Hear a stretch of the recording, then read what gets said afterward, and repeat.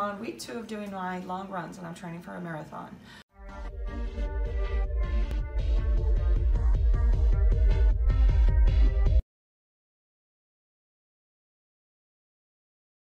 Um, I started last week and I told you I've been on um, keto and intermittent fasting for over a year. I'm fully fat adaptive and I tried my last run doing 12 miles uh, last week without the normal carb loading that I do and without taking any energy gels. Um, I tested my numbers in the mornings. I know I had uh, plenty of ketones, you know, in my blood. Um, my glu blood glucose was fine, and I was able to run. Uh, didn't do the things that I normally uh, did. Um, and like I said last week, doing marathons and doing everything like that, I um, actually started gaining weight because I was just so running in carbs. That's kind of how, how I thought it was, but now I know it's different. Um, fat gives you much more steady energy than what uh, glucose does. It only has a you know extended uh, short time.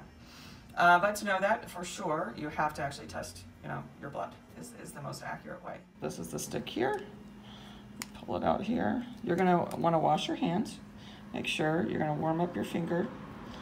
You're gonna kind of do like that.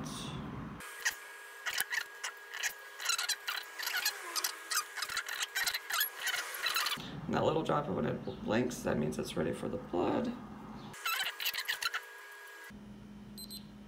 2.2. I know I'm good there.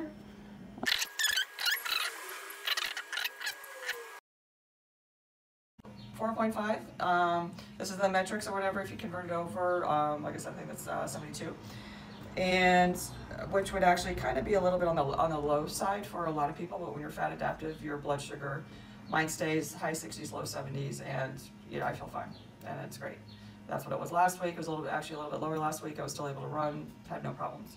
Uh, the only key thing you want to make sure is that your electrolytes are on board.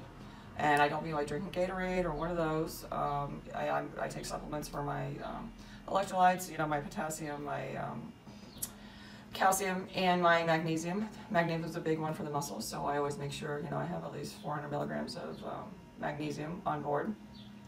And um, that's the key, and plenty of water, because water is really, you know, what the body really needs. So anyways, those were my numbers today. I know I'm good. I know I have enough energy um, with the ketones to run as long as I need to run. And I will uh, let you know how I do later on.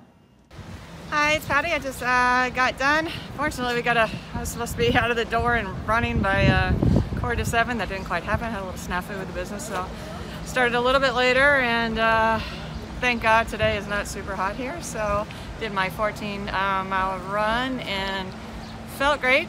Like I said, my legs are a little undertrained, so that's about the only thing that's got to get up to speed. Another couple weeks they will be. But um, energy-wise, felt great. I eat between 2 and 6, so my last meal was about 4 to 6 last night. Uh, and fasted for, you know, over 13 hours. I had 30 carbs yesterday, total carbs, and 18 net carbs. So with doing fasting, I won't eat till uh, 2 o'clock this afternoon. Last week did the same thing. Actually, it was 3 o'clock by the time I ate because I was busy. Um, felt fine. When you fast and when you do keto, you don't, your hunger pains go down. Even if you do intense, you know, if you do a lot of cardio, it still doesn't change that. So I just wanted to let you know that able to run 14 miles with no energy gels and didn't carb load the night before. So happy running. I'll keep you knowing how, how it's going.